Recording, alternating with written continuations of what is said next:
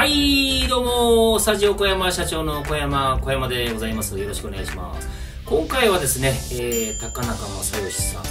えー、アルバムオンギター収録のレインボーという曲を取り上げました。まあ、この曲、前回と同じで、まあ、リクエストいただいてですね、まあ、聞いてみて、あ、これいいなと思ってやってみました。えー、この曲すごく難しかったんですけれども、難しい要因、これ16ビートシャッフルの曲なんですね。跳ねた16分のノリということで、それが難しい部分でした。まあ、どういうことかっていうと、普通の16分音符だとですね、あの、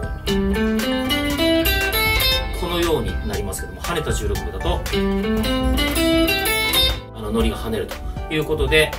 これに注意してコピーしていっていただきたいなと思うんですけども、そのね、あの、跳ねた16ビートですよっていうことを示すために、譜面の冒頭のところにですね、このえー、記号で示したってこの記号があればこの16部で書かれている部分は全てこの跳ねたノリで弾いてくださいということなんですけれどもその中でですねあえて跳ねないあのバックのリズムは跳ねたリズムで刻んでるんですけどもギターのフレーズは跳ねずに16部音符で弾いてる部分もあったりしますので、まあ、例えばここなんですけれどもここですねこのフレーズ。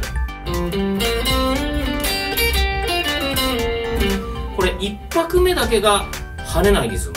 これ1拍目も跳ねてしまいますとこのようになりますけど跳ねずに弾く。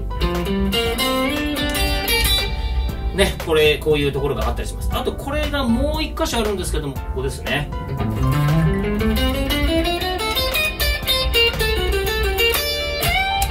このこの部分が跳ねないリズムになってます。これ跳ねてしまうとこのようになりますけれども跳ねない。